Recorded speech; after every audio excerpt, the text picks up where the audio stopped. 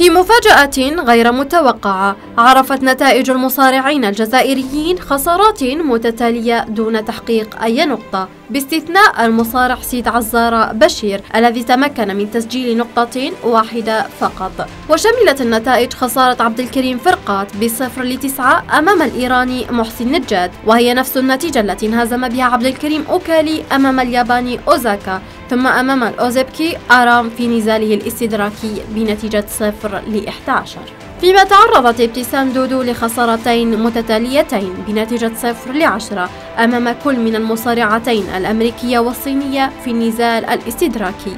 إسحاق جايو هو الآخر خسر أمام الإيراني إسماعيلي بنتيجة صفر لعشرة وصفر لتسعة في مقابلته مع الكوبي سانشيز في النزال الإستدراكي.